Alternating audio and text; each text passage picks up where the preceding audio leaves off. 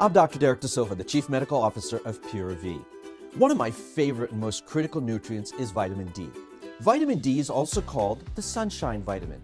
The reason it's called the sunshine vitamin is because most of the vitamin D that we get in our bodies is from the sun. When we look at the data on vitamin D deficiencies, essentially about 80% of the US population is deficient in vitamin D.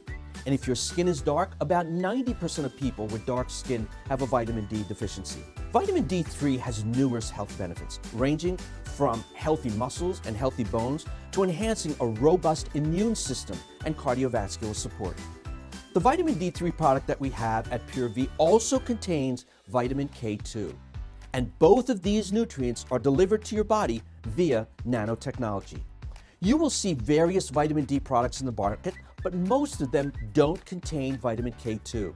The reason I combine vitamin D3 and vitamin K2 is because vitamin K2 activates certain enzymes within the body that help support bone health and cardiovascular health or heart health. Vitamin K2 also acts as a gatekeeper and directs or tells calcium and vitamin D where to go within the body. If vitamin D and vitamin K2 are not used together, calcium and vitamin D will not know where to go and the body may have some negative side effects.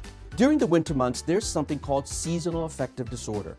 Seasonal affective disorder is essentially a lack of vitamin D3 due to the lack of exposure to sunlight. When our brain does not have enough sunlight, our moods can be dramatically affected, and this is essentially what happens in seasonal affective disorder.